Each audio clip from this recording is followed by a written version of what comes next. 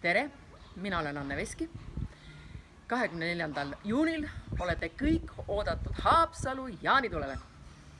ja miks? sellepärast, et seal esinen ka mina ja tuleb üks tore õhtu ja olen rääkinud ilmataadiga, et lubas ka mitte vihma tuua. ja ega ma iga päev jaanitulel ei esine ka, nii et tore on jälle kohtuda.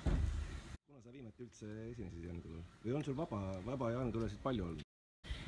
vabu jaanitulepäevi on olnud vabu küll, aga siis vahepeal olid ju nii külmad õhtud, et ma kohe ei tahtnudki, aga seekord ma tundsin, et peab tulema.